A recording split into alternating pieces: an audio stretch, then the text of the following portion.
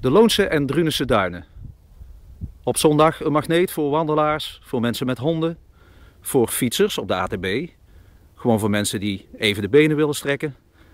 En door de week een prachtig stiltegebied met naaldbomen, eiken met de kruin in het zand en gewoon heel veel rust. Eigendom van Natuurmonumenten en Lex Quirel is de boswachter. Meneer Quirel, dat moet wel een enorm genoegen zijn.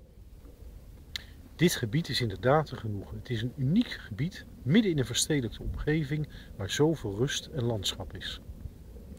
Wat is uh, daar zo bijzonder aan, aan, uh, aan, dit gebied? We zien natuurlijk veel zand. Uh, nou ja, een grote zandbak zou je kunnen zeggen.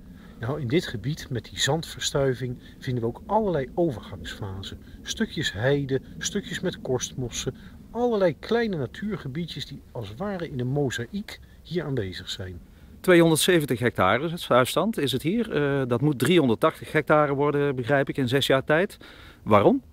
Dit stuifzandgebied heeft eens een oppervlakte gehad van 1400 hectare. Dat zullen we helaas nooit meer bereiken. Maar Natuurmonumenten wilden alles aan doen om dit landschap te behouden. Want vandaag de dag is dit landschap aan het verdwijnen. Het groeit dicht, heel hard dicht. Wat gaat u daaraan doen, precies? Daarvoor gaan wij stukken bos kappen rondom het stuifzandgebied, zodat de wind weer kan waaien. Een boswachter die bos kapt, daar zullen wel veel mensen raar tegen aankijken. Hebt u daar al iets van gemerkt? We zijn vorig jaar begonnen met de kap van 7 hectare bos langs het fietspad tussen Loon op Zand en de ijsbaan, Kaatsheuvel. En hebben dus uitgelegd en laten zien dat we daar de heide weer terug willen hebben. En de heide komt daar ook terug. En als de mensen dat ervaren, wanneer ze uit zo'n stuk bos ineens weer zo'n heideveld zien, dan is dat goed uit te leggen. Wie profiteert er nu van? Ja, mensen die het zien, maar uh, de natuur zelf? Gelukkig een heleboel diersoorten die afhankelijk zijn van die bijzondere situatie die je alleen hier tegenkomt.